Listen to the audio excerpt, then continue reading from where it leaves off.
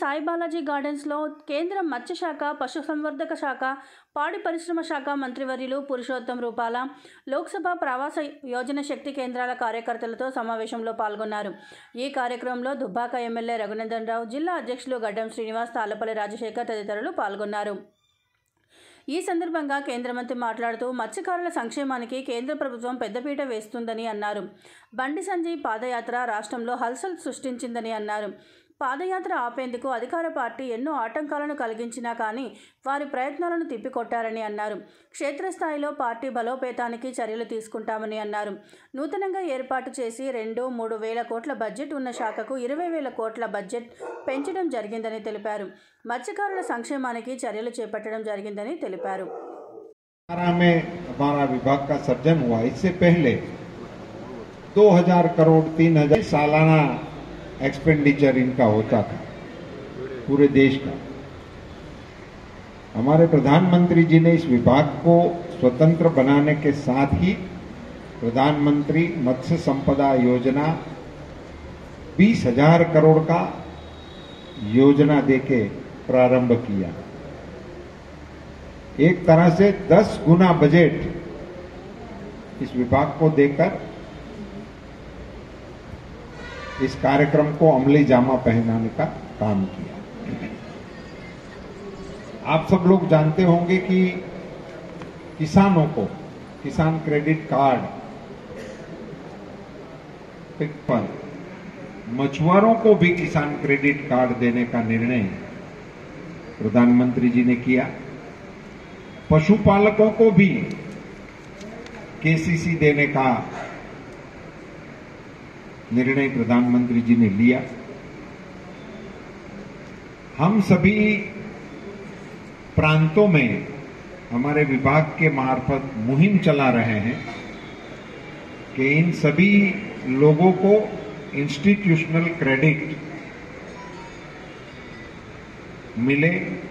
इसके लिए हम प्रयास में भी लगे हैं। हम हमारे साथियों को इन दिशा में इस समाज को बीच में जाके अवेयरनेस के कार्यक्रम करें। हम भी इस अवेयरनेस के कार्यक्रम कराने के लिए राज्य में और अधिकारियों के साथ भी दौरा करेंगे। कल मेरा मुदिराज समाज के साथ एक सम्मेलन हुआ। उसमें हमें कुछ जानकारी मिली। कि यहाँ करीबन 3500 जितनी सोसाइटियाँ हैं और वो काम में लगे हुए हैं। कुछ सोसाइटियों का रजिस्ट्रेशन नहीं है। और जिनका रजिस्ट्रेशन नहीं होने की वजह से उनको कई सरकारी योजनाओं के बेनिफिट नहीं मिल रहे इस इश्यू की मैं तहकीकात करूँगा और कोशिश करेंगे कि सभी सोसाइटी रजिस्टर्ड हो, सभी मछुआरे को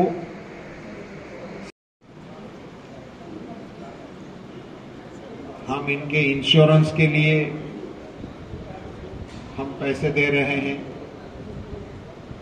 हम इनको संगे लिए इस योजना के तहत जितनी भी दरखास्तें हमारे सामने आती हैं, उन सभी को मोटे तौर पर मंजूर करते हैं।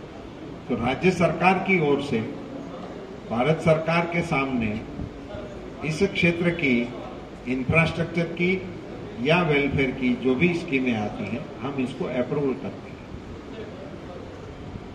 ये हमारी इस साल की दोनों डिपार्टमेंट की क्या क्या योजना है कितना कितना मद है उसमें क्या दिया है। वैसे तो मैं डिटेल में आपको बता सकता था कि मेरे मगर ये दौरा मेरा और तरह का मैंने प्रधानमंत्री ने जैसे केसीसी का ज़िक्र किया, पहली बार पूरे देश में वेटरनरी यूनिट भारत सरकार के शत प्रतिशत खर्चे से पूरे देश में हम दे रहे हैं। चार हज़ार मोबाइल वेटरनरी यूनिट हमने सैंक्शन कर दिए हैं पूरे देश के लिए। वो भी फिगर के साथ मैं आपको दे देता हूँ। जब हमने ये मोबाइल वेटरनरी यूनिट मंजूर किए तो राज्य सरकारों की ओर से हमारे को सवाल आया कि आप तो मोबाइल यूनिट मंजूर कर दिए मगर हमें चलाने के लिए डॉक्टर चाहिए ड्राइवर चाहिए डीजल चाहिए।